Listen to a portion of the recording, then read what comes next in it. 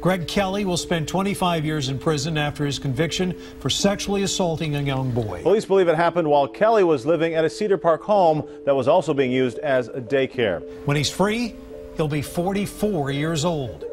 This case started in 2013, but now here we are four years later with new information in this case and new evidence that Greg Kelley's defense lawyers say exonerate him. Greg is coming home. The reality is that getting a conviction overturned in the state of Texas is quite rare and quite difficult. It's really going to depend on the strength of this new evidence. Tonight, that conviction being called into question. The new suspect's name is Jonathan McCarty. Jonathan McCarty. Jonathan McCarty is a person of interest in this case.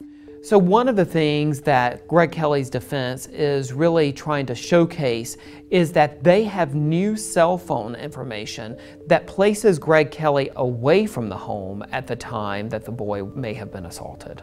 They also have witnesses who are willing to testify that they saw images of nude children on Jonathan McCarty's cell phone and computer. And in addition to that, the defense also says that they have at least one witness, maybe more, who is willing to testify that Jonathan McCarty confessed to the crime to them. There are those who believe Greg Kelley was convicted justifiably. I think it speaks for itself, but we're uh, we're very satisfied. The Cedar Park Police Chief, Sean Mannix, has been steadfast that he believes that investigators targeted and pursued the right person in this case. How you doing? I'm Greg. Nice to meet you. Nice to meet you. Greg Kelley tells the story that he has told all along. I'm an innocent man. As in the Texas Department of Criminal Justice.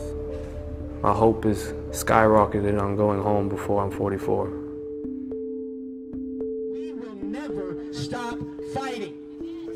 A trial judge in Williamson County will have to decide in coming weeks whether or not to uphold the conviction or possibly set it aside.